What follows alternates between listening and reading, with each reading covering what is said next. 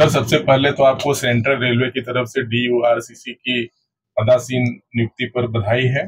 बहुत बहुत धन्यवाद। दूसरा सर ऐसा है कि मुंबई करों को देखा जाए तो जैसे अभी फेस्टिवल सीज़न चल रहा है अभी दीपावली सामने होगी छठ पूजा होगा नवंबर दिसंबर में जो शादी विवाह होते हैं उत्तर प्रदेश के लोगों को जब गाँव जाना होता है तो गाड़ियों की बहुत और टिकट की बड़ी समस्या होती है। और यहाँ की जो जनता है वह बहुत ही परेशान होती है तो उसे किस असर से देखते हैं और उसको, उसके निपटान के लिए आप किस तरह से प्रयास कर रहे हैं? देखिए मध्य रेलवे ने मुझे बोर्ड मेंबर बनाया है। मुझे मुंबई डिवीज़न का सदस्य बनाया हुआ है। मेरी यह कोशिश रहेगी कि मध्य रेलवे से चाहे वह उत्तर भारत का कोई व्यक्ति हो, चाहे दक्षिण भारत का हो, चाहे कहीं का भी हो, मध्य रेलवे की ट्रेनें देश के कोने कोने में जाती हैं।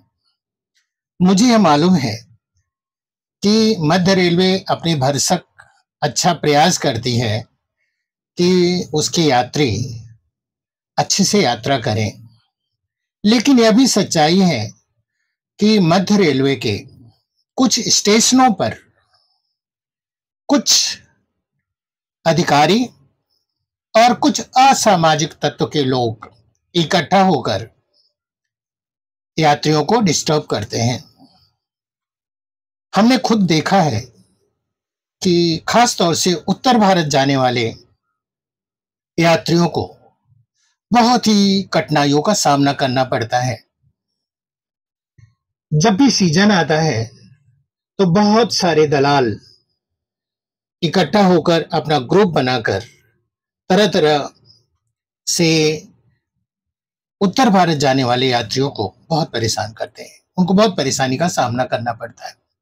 यहाँ तक कि जब वो स्टेशन पर जाते हैं तो ऑटो रिक्शा, टैक्सी वाले तक भी अपना ग्रुप बनाकर उन्हें एक तरह से लूटने का कार्य करते हैं। तो मेरी यह कोशिश होगी कि Mumbai CST Dadar LTT, Kurla terminus, Thane, Kalyan से जो हमारे यात्री, चाहे जहाँ भी जाते हों, उन्हें जितनी सुविधाएँ मिल सके, मैं दिलवाने की कोशिश करूँगा रेलवे के अधिकारियों से।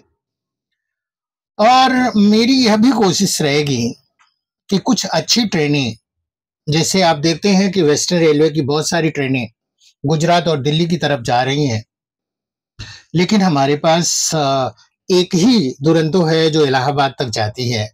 अब लोगों की मांग है कि बनारस और बनारस के आगे दुरंतो जानी चाहिए।